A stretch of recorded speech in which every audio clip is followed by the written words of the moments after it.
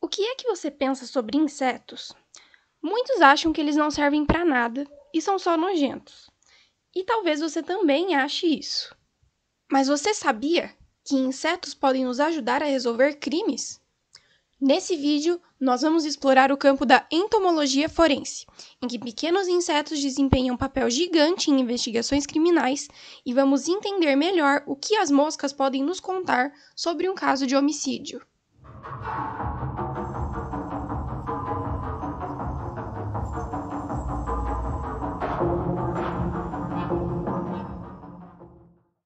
Primeiro, o que é a entomologia forense?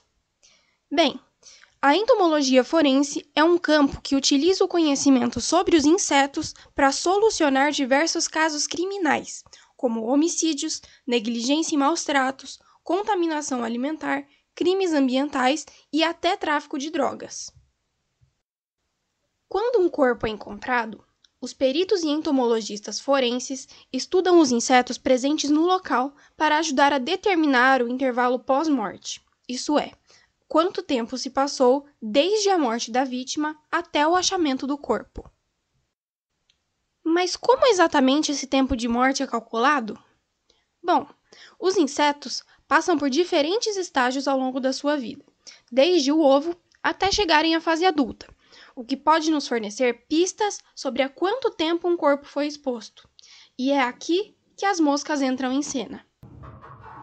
As moscas pertencem à ordem Diptera e apresentam diferentes hábitos alimentares.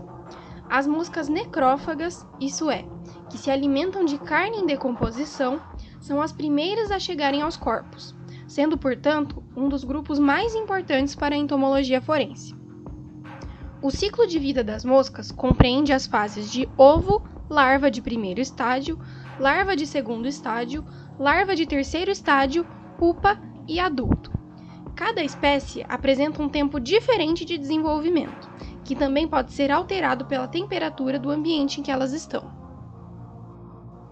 Sabendo de tudo isso, os entomologistas forenses podem estimar a idade das larvas encontradas em um corpo com base no estágio em que elas se encontram, e assim calcular o tempo mínimo passado desde a morte.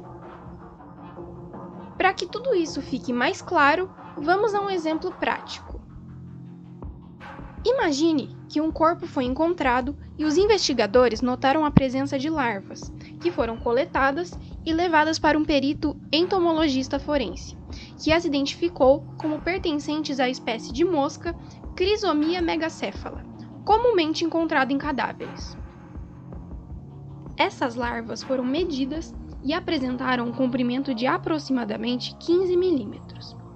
Sabendo que as temperaturas médias dos últimos dias no local em que o corpo foi encontrado foram aproximadamente 26 graus Celsius, o entomologista consultou uma tabela específica que relaciona essa temperatura, o tamanho das larvas, seus respectivos estágios e seu tempo de vida. Essas tabelas são construídas por pesquisadores após vários experimentos criando cada espécie de mosca em diferentes condições ambientais, já que a temperatura influencia o tempo de desenvolvimento. Nesta tabela, o perito pôde verificar que a 26 graus Celsius, larvas atingiam o comprimento de 15 milímetros após pelo menos 36 horas desde que os ovos foram colocados. Portanto, chegou-se à conclusão de que o corpo foi exposto a no mínimo 36 horas, isso é, um dia e meio aproximadamente.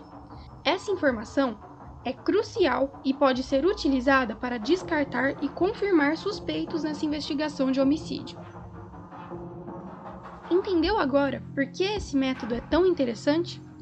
Em casos de mortes suspeitas ou não resolvidas, a entomologia forense pode fornecer uma linha do tempo crucial para ajudar a encontrar respostas.